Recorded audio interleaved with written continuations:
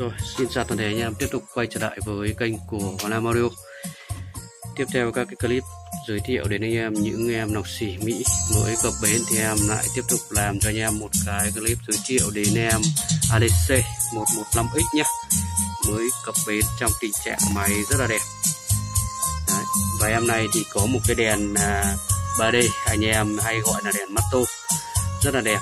Và có một cái tính năng đó chính là tính năng nháy đuổi của hai bên hệ thống cần gạt nhé. Phi tương ngang thì vẫn chuẩn size 43.5 cao 9 sâu 25 em này thì máy chạy đa cầu điện anh em nhé. Cách đây khoảng à, một tháng thì em có về được hai em và em cũng đã bán hết. Thì hôm nay lại tiếp tục về được.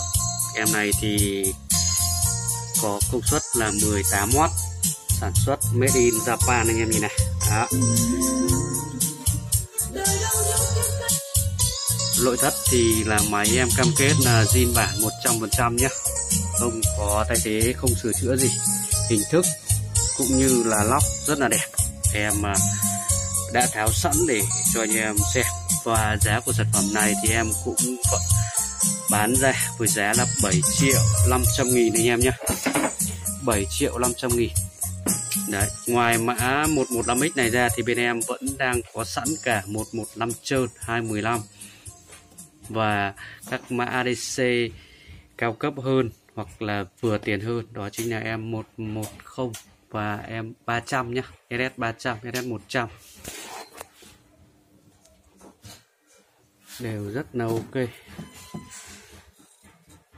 Để em uh, cho cái nhạc nó đang hết chương trình.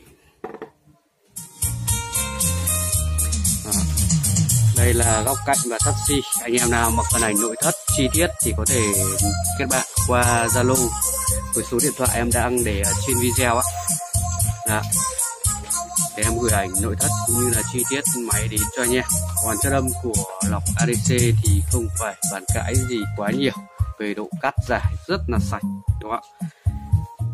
Gần như là không thể nghe thấy tiếng tép khi mà anh em à, hạ cái, cái phần nó xuống.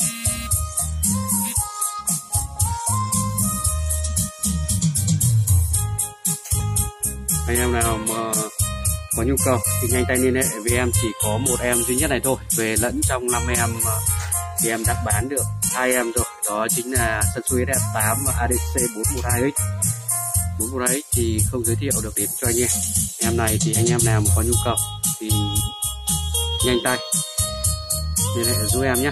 Cảm ơn anh chị em ờ, đã quan tâm hãy nhấn like và đăng ký kênh nếu chưa đăng ký kênh để được cập nhật nhiều sản phẩm mới nhất của bên em. Chào anh chị em.